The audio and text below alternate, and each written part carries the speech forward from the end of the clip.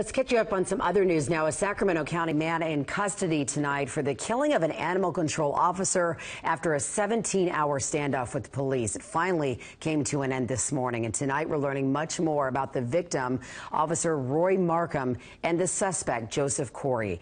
KCRA 3's Mike Luery joins us live from the Sacramento County Animal Shelter with more. Mike? Well, Kelly Roy Marcum was just 45 years old when he died. He was, in fact, a 14 year veteran of the force here as an animal control officer. And animal control officers today, for the first time, speaking out publicly to say they now feel the need for body armor. Roy Marcum was trying to save abandoned animals when he was killed yesterday by a shotgun blast. And today there's a renewed effort in Sacramento and around California to provide animal control officers with body armor. We've already talked about that uh, in the last uh, 24 hours, and we're definitely going to explore that possibility and, and try to get something instituted here at the shelter. The support for body armor is growing from officers both current and recently retired, like Shelley Pye, who worked with Roy Marcum for four years. Where he was shot in his torso, had he had a vest on, chances are high that he would have survived. Roy Marcum's pet pit bull, Petunia, was with him when he died.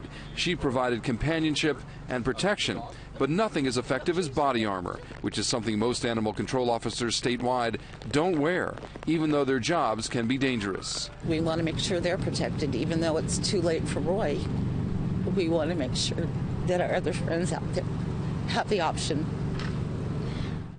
and that option for body armor is now being championed by Sacramento County Supervisor Phil Serna, who sent a message early this morning to the county executive saying we need to look into these things right away. Other counties, too, that we talked to today in our informal survey, also telling us that they are now reconsidering once again the priority of having body armor for, for their animal control officers. Reporting live in Sacramento, Mike Luery, KCRA 3 reports. So, Mike, I mean, is there any resistance to getting bulletproof vests or body armor for the animal control officers? Is it expensive? Is that the issue? Or there's a lot of issues. You know, most of the counties around here do not do it. In fact, all the way to Southern California, even LA does not do it. But there's three things really that are factors at play. One is that they say it's hot in the summer. Two is that it's very restrictive when you're doing your routine enforcement efforts. And third, as you mentioned, the cost. Some of these uh, body armor vests cost up to $500.